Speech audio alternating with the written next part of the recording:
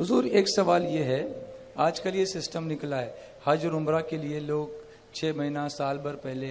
पैसा पे कर देते हैं, एडवांस बुक कर देते हैं, उससे उनको पैसा बहुत कम देना पड़ता है, खर्चा कम होता है कभी कभी आधी कीमत में भी उम्र हो जाता है या हज हो जाता है तो इस तरह से करना जायज़ है?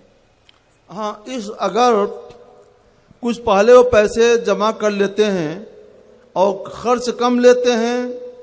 और आपको उमरा करा दें, आपको हज करा दें,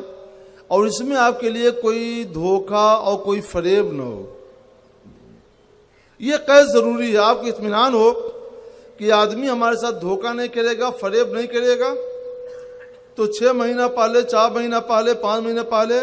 आप उसके पास पैसे जमा कर सकते हैं, और जब आपको हज कराए तो हज कर लीजिए उमरा कराए उमरा कर लीजिए, आपका उमरा भी सही होगा और आपका हज भी सही होगा।